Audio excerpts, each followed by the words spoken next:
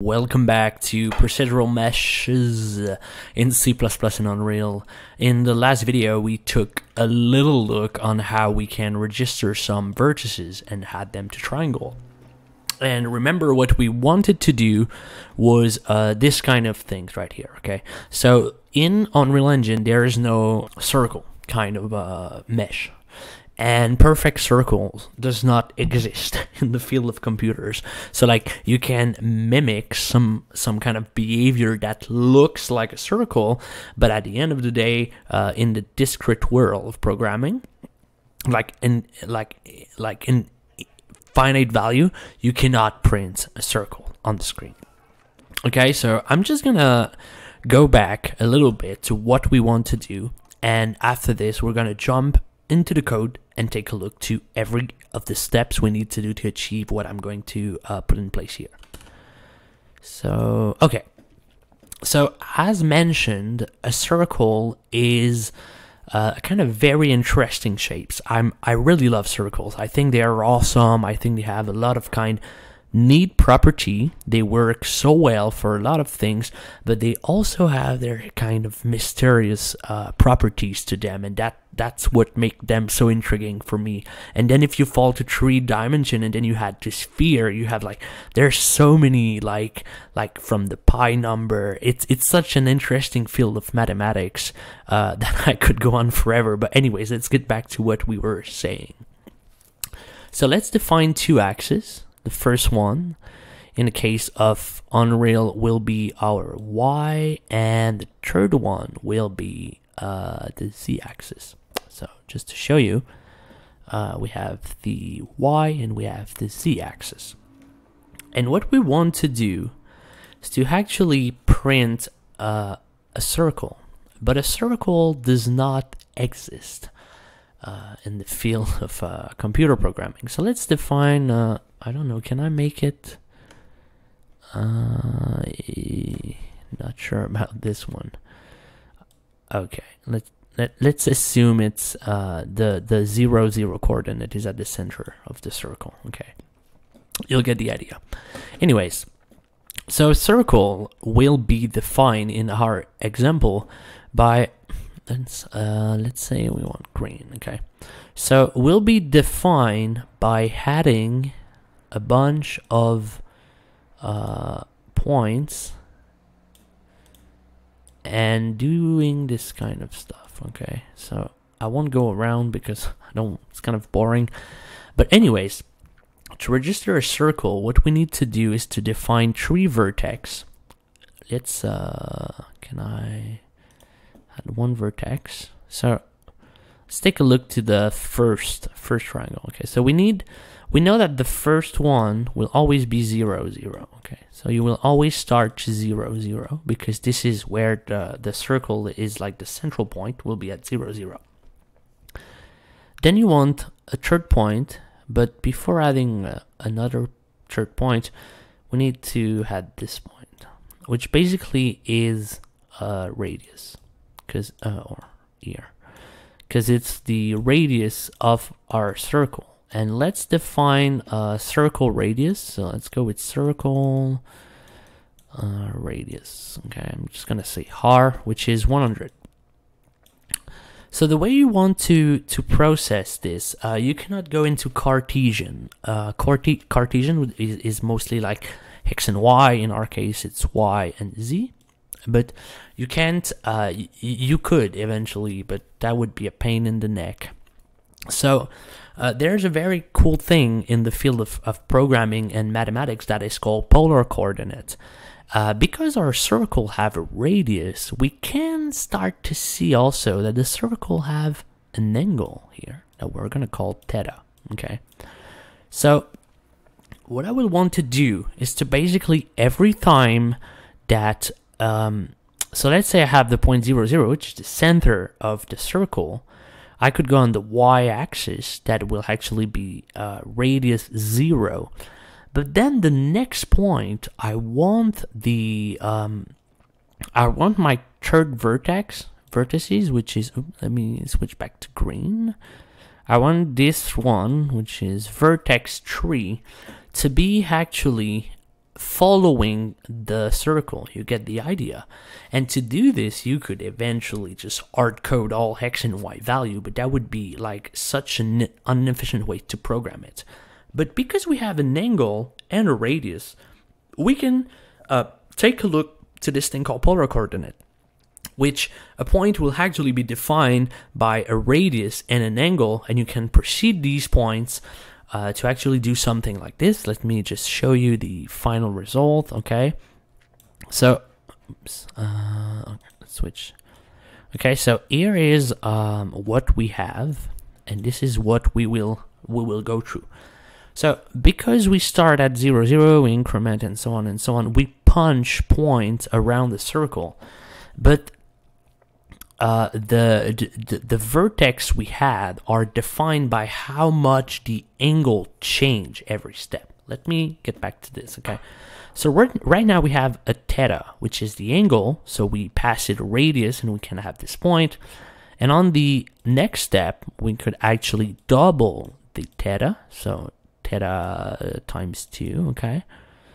And what we will have is to actually take this theta and double it and do the same kind of magic we're going to go in a minute and have the next point. So we could regis- register another vertex on the circle and go on and go on and go on forever okay? Or basically until we are uh, happy. So here would be theta 3 or 3 theta sorry you, okay. Or that would be here 4 theta 4 okay? So you get the idea. Basically every step we go on the theta we pass it the same radius but it punch a different vertex and eventually if we shrink down this theta so small it's going to give the illusion uh, to the viewer that we actually deal with uh, with a finite circle. It's not a finite circle, but anyways, like it's it's a circle on the screen. So right now, if I'm opening the code, I've basically just defined a constant which is 2 pi, which is uh, the radius of a circle uh, in radians. Uh, if you're not good with radians and deg- degrees, basically just assume that okay. Let's uh, normally you deal with degrees, but normally like if you say you have uh, a, like this angle, okay. Um, so if we map around a circle, this will be oops. That, that's not what I wanted to do. Okay, so you would have in degrees, but what we want is the opening of the circle, which is the radians. And uh, we have a step around the circle, which basically means how many steps we want to uh, register vertices around the circle. So um, I've said eight. If we go back to Unreal, we will see that we actually have one step, two step, three step, four step, five, six, seven, and then eight step, which is uh, pretty much what what we are doing. So we say, okay, here is the theta we look at, add another theta, and do it for eight step, and eventually, because we are mapping it around a constant value that is the uh, the two pi divided by. You see here what I do? I define an angle I see 2 pi and I define and I divide it by step around the circle. But if I increase this one, let's say to 100, okay, but before increment is this one, okay, let's take a look. So we have the radius, which is the radius of the circle. And what I do is, as I mentioned in paint, let's just uh, do this. Okay, so Okay, so we always have the first vertex of every triangle just uh, starting at 0, 0, 0, okay? But then you want to uh, map the next point to be uh, what I do is basically I just say the cos the cosine of the angle, which is uh, the angle that we define here, and I say times i, which starts to zero, and I map the uh, radius. So radius times cos sine of angles times high, and radius times sines of angle uh, times i, because uh, cos and sine will will map magically to polar coordinates. Okay, we're gonna take a look to polar coordinate later, but just assume that uh, doing this will will map the hex, the y and z to the right uh, kind of uh, position around the, the, the circle.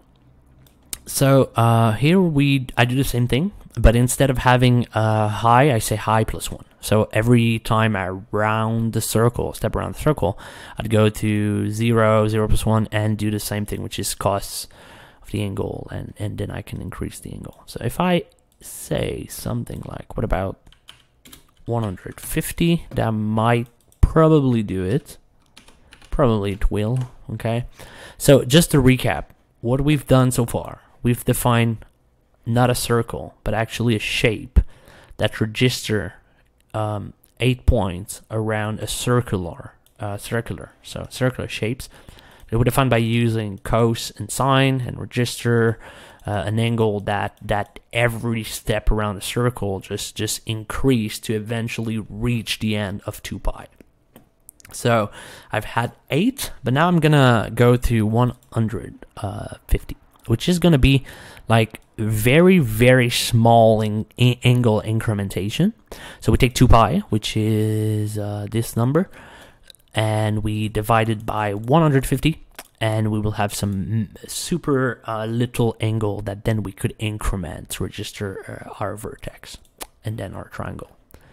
So if I compile, we will probably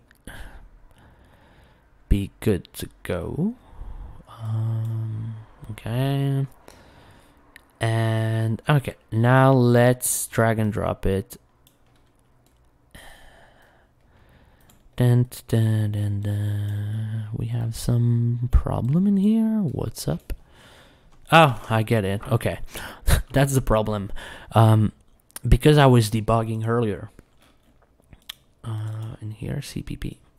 Because I was debugging, I've hard coded 8, which is the number of step divided by 3, because we have 3 vertex per triangle. But what we want to do is actually map this uh, variable, so it's gonna actually follows how many uh, like step around circle, then we make times three and it will automatically loop and register all triangles.